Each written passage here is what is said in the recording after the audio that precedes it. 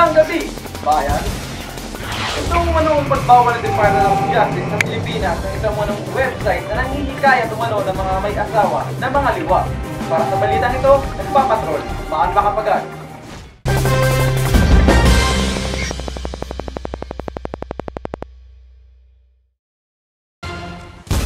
Salamat, Maan.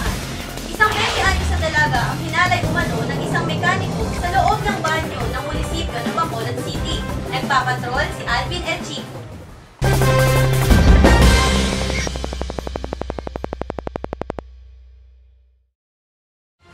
At yan ang mga balitang aming nakalap sa mas malawak na pagpapatrol. Ako po si Roy Vitaliano. At ako naman po si Janela Nogoy, kami ang mga patrol ng Pilipino na nagtiligtod sa inyo saan man sa mundo. Hanggang bukas, ito ang TV Patrol!